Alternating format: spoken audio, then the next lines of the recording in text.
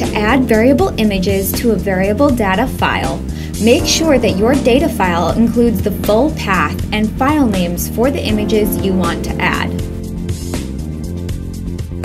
You must also have all the image files on your computer or on a computer that can be accessed by your iQueue software.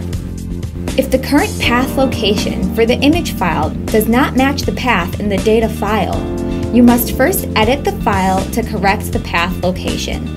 First, open the variable data file. Select one of the cells containing the image file paths and highlight the full path of the file. Do not highlight the file name. Select Copy or press Ctrl C. Next, select Find and Replace. Place your cursor in the Search or Find field and select Paste or press Ctrl V.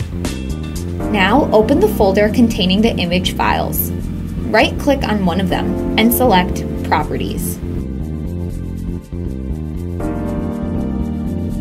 Highlight the image file path in the Location field and press Ctrl C to copy it to the clipboard. Go back to the variable data file. Place your cursor in the Replace field and press Ctrl V. Highlight the column of the data file containing the image file paths. In the Search and Replace window, select Current Selection Only. Click Replace All. Now save and close the data file. Open iQueue and double-click on the job ticket.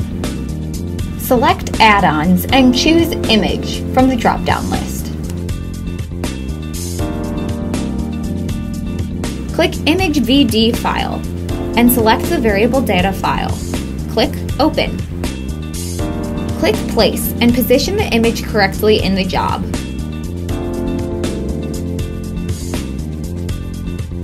Click Apply when done.